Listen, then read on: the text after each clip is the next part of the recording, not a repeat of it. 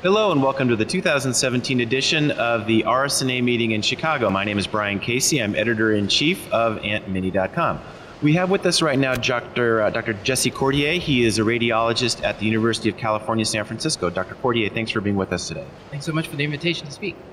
Uh, one of the most interesting developments in radiology in the last year or so has been the rise of uh, virtual reality and radiology. And uh, Dr. Courtier has been doing some really interesting work in what he calls augmented reality. Uh, Dr. Courtier, can you uh, can you talk to us about that a little bit? Yeah, certainly. So augmented reality differs from virtual reality in that uh, there's a spectrum both from virtual reality which is a completely immersed and enclosed experience where you're completely in the virtual world you're blindfolded and really looking only at virtual world but augmented reality takes just reality and then adds superimposes holograms onto the real world background so this is kind of like Pokemon Go, if I remember what my kids were doing with it. Exactly right. So, yes, we're finding the Pokemons and things like that. Other people harken back to the old movie Minority Report with Tom Cruise, where he's definitely maneuvering these holograms around uh, with these special gloves.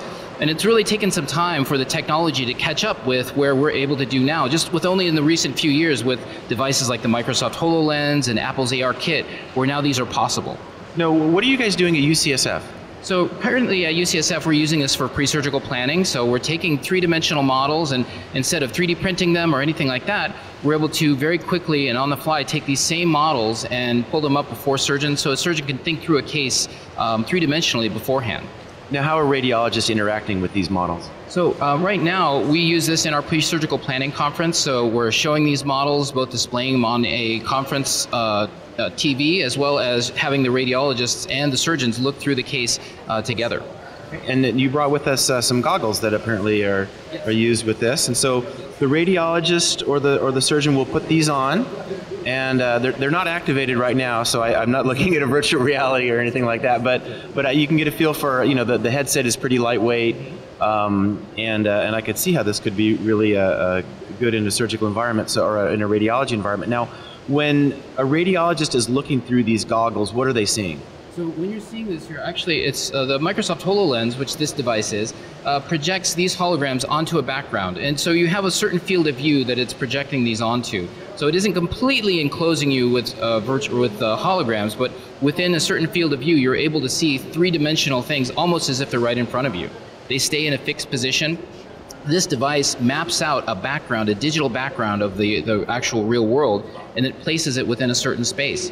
You're able to walk around it, walk through it, make it bigger or smaller, all with the, in a very realistic fashion. Now, what are some of the clinical applications that you, th- you might you think are most uh, this is most most useful for?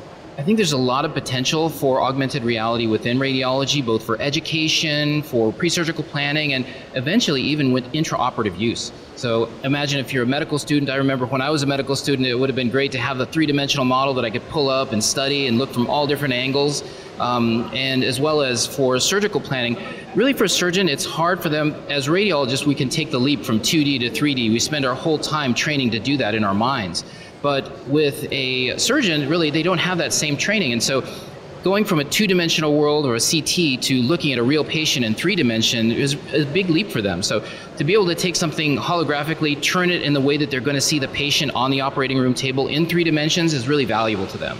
Now, is this something that you guys are using on patients right now, or is it still in an experimental mode? So right now we have an uh, IRB to use this for pre-surgical planning. So I'm a pediatric radiologist, so we're using this for our pediatric radiology cases and surgical planning conference, as well as for neurosurgery. So uh, we may see neurosurgical models. Uh, in fact, uh, what we've been able to do is do a brain tumor model where we've been able to look at the uh, optic radiations, be able to see the tumor and even the cerebral vessels so that the uh, surgeon can plan this out and move it in an exact position where they want to know exactly where they might target their surgery. What are some of your next steps with this research and, and, and what do you think needs to happen uh, to make this a, a, clinical reality for people in community radiology practices? Certainly. I think there are a few next steps. So, what we're looking for is further development of the application, both so that we can improve the user interface and make it overall um, with this so it can be more simple to use for surgeons, for radiologists. Uh, really, what I think the next steps are clinician buy in. So, uh, really proving the value added for augmented reality in radiology, that it can improve OR times, that it can reduce complications and also uh, overall just uh, corporates uh, working with corporations and corporate support so that we can really further develop this and take it to the next level. Great. Well, I look forward to seeing uh, the next level and what you guys come up with. Thanks so much. Sure. All right. Signing off for AuntMinnie.com, my name is Brian Casey.